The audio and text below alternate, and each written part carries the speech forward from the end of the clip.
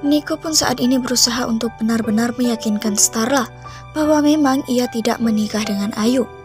Nah guys, hal itu selalu saja dicari cara oleh Niko untuk menutupinya dari Starla. Karena Niko takut ya guys, jika sampai Starla mengetahuinya, Starla akan benar-benar pergi meninggalkan dirinya. Seperti hal yang telah dijanjikan oleh Niko. Nah guys, lantas kira-kira apa usaha yang akan dilakukan oleh Niko untuk tetap terus menutupi semuanya dari Starla? Karena cepat atau lambat, Starla pasti akan mengetahui semua kebohongan yang dilakukan oleh Niko bahwa ia dan Ayu memang benar telah menikah.